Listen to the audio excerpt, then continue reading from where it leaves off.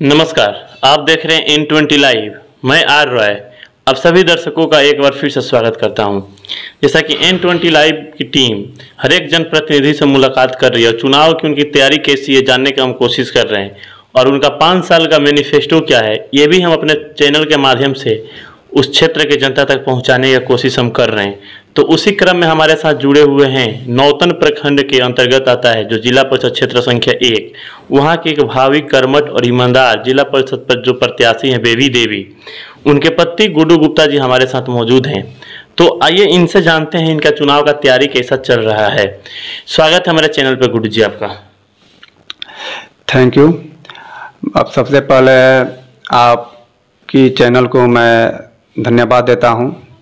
और नौतन प्रखंड के क्षेत्र संख्या एक, जिला प्रखंड के क्षेत्र संख्या एक के सभी जनतागण को हमारे तरफ़ से हार्दिक अभिनंदन और प्रणाम करता हूँ। तो जैसा कि जितना भी प्रत्याशी लोग हैं, सबका दौरा तेज हो चुका है। चुनाव आयोग द्वारा जैसे ही डेट की घोषणा हुआ, सबके अंदर एक आग सा लग गया। जनसंपर्क करना शुरू कर चुके हैं, दौरा भी शुरू कर चुके हैं। तो आपका भी दौरा शायद चालू हो ही चुका होगा। चुनाव की तैयारी कहाँ तक पहुँच चुकी है आपकी? देखिए सर हम लोग अभी डोर टू डोर घूम रहे हैं है ना?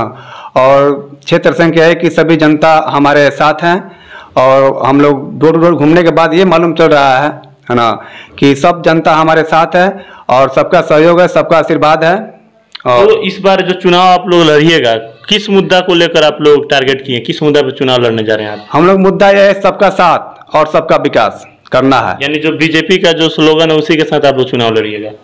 नहीं बीजेपी का कोई मतलब ये पार्टी लेवल पर चुनाव नहीं हो रही है। नहीं सबका साथ सबका विकास ये बीजेपी का दिया हुआ इनारा है।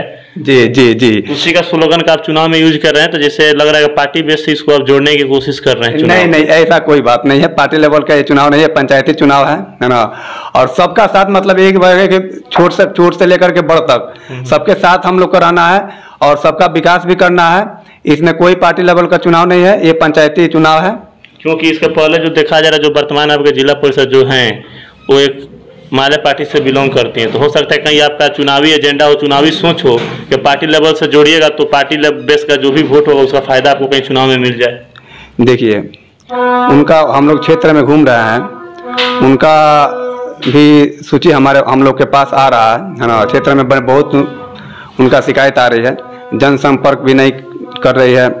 पाँच साल में किसी के घर जो उन जनता उनके साथ रहा उन उनका संपर्क में वो कभी पाँच साल के अंदर कभी भी एक बार भी नहीं गई है है ना? तो क्या आपको लग रहा है कि जनता के अंदर जो आक्रोश है जो विकास अधूरा है उसका फ़ायदा जनता आपको देगी चुनाव में?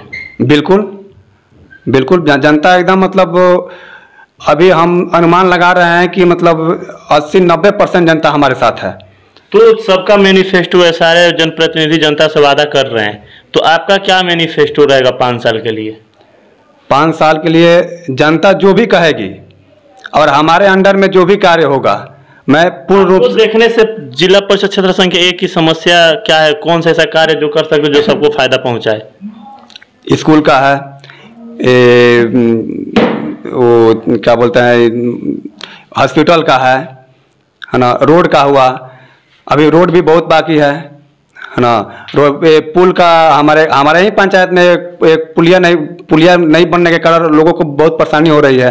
यानी जो भी जनता की समस्या वो सारी चीज़ें आपकी मैनिफेस्टो में शामिल रहेगा। जी जी। तो अंत में हमारे चैनल के माध्यम से जिला परिषद क्षेत्र संख्या एक के जनता से आप क्या अपील कीजिएगा चुनाव के लिए?